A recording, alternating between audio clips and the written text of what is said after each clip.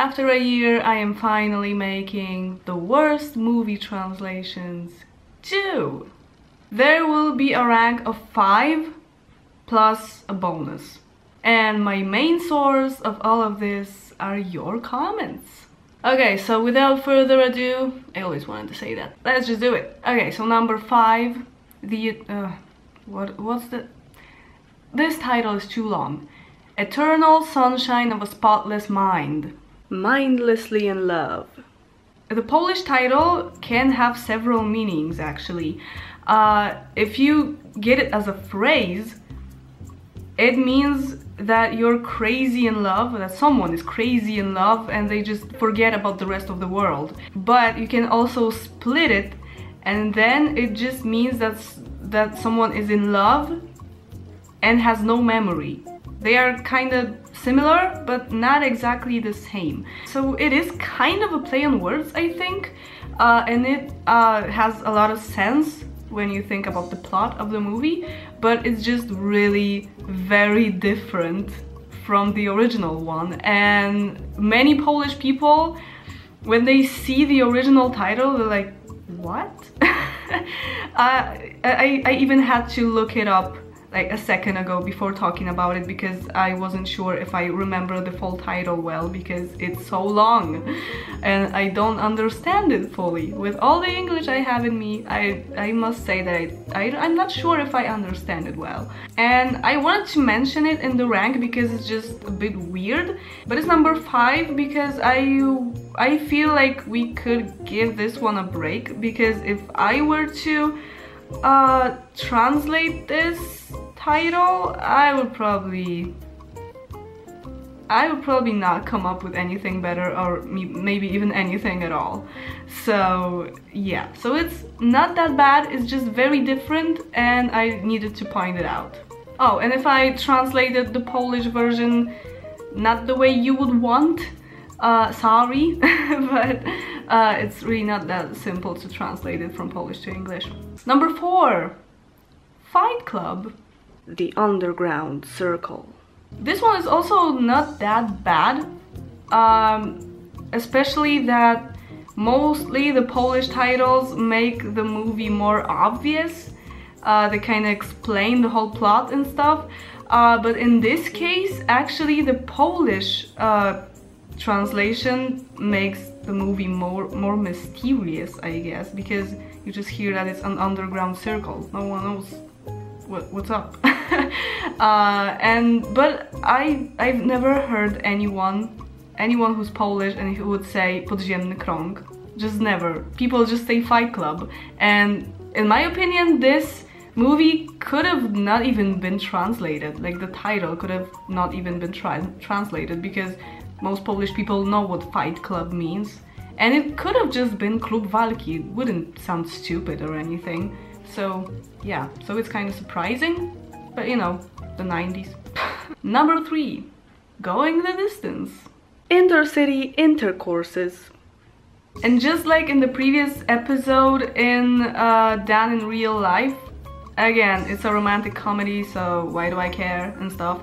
But uh, I watched this movie two times, and that's a lot for, for me, in my case.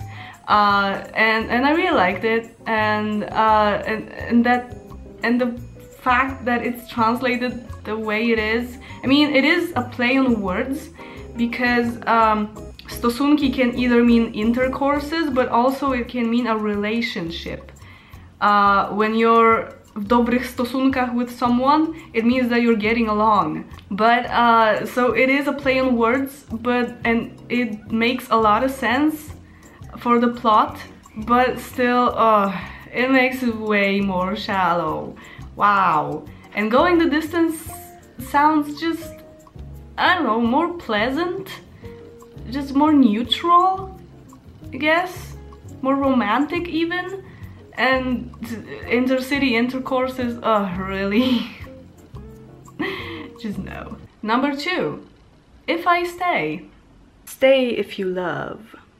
So the problem with this one, uh, and the reason that it's number two, at first and it might seem weird uh, that I uh, put it that high, but uh, in fact, the book is uh, translated in a proper way, exactly as the English title, which is Jeśli zostanę, but the movie was translated Stay If You Love. Okay, and now after the movie is there, uh, the books that came out after the movie was produced, they are uh, named the same as the movie is. What does that say about modern culture? Of course that the movies are dominant over books, even if they're an adaptation of the book. And this is not the first time that happened. Okay, so before I reveal the number one that you probably figured out already, let's do a speed round of other ridiculous titles. Dear John, I still love her. He's just not that into you. Women desire stronger. Forgetting Sarah Marshall. Guys, cry too. Knock knock, who's there? War dogs. War sharks. Epic. The mystery of the Green Kingdom. Highlander. Immortal. The Big Country. The White Canyon. Music and lyrics. Into the Heart. Touching the Void. Waiting for Joe. Despicable Me. How to Steal the Moon. Despicable Me 2. Minions Mess Around. The Perks of Being a Wallflower. Charlie. So number one. Dirty Dancing. Spinning Sex. I cannot believe I forgot about this in the previous video. It's just insane that I, oh god. Maybe it's not the worst translation that has ever been made, but it's just, uh, like, this movie is a classic, right? I mean, I'm not sure if I like it really, but, uh, you know what I mean. Uh, and translating that kind of movie in such a wrong way is just is just wrong. And this movie is not like for adults or anything, right? I watched it when I was like 11 probably. And it's just about dancing and being in love and stuff. And Dirty Dancing kind of like makes uh, reference to dirty stuff. but uh, there's a slight difference between Dirty Dancing and Spinning Sex. And I am really trying not to be a prude in here, but it's really um, like when a kid in the US says dirty dancing, it definitely doesn't sound the same as when a kid in Poland says wirujący sex. The Polish title kind of sounds like a porn movie, so this was definitely unfortunate.